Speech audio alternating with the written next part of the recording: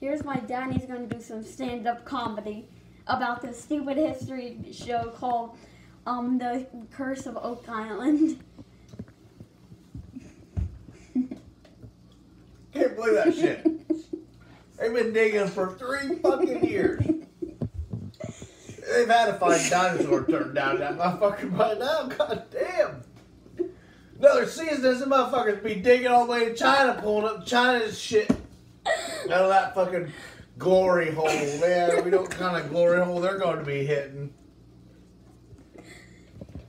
God damn. Oak Island, dumbest show to ever be put on this fucking planet. Even worse than some alien turds. They probably find that too and put it on that ancient aliens crap. And then it'll be the next highlight. Look, this green 3,000 year old turd from Mars. It even glows green. Alright, bye.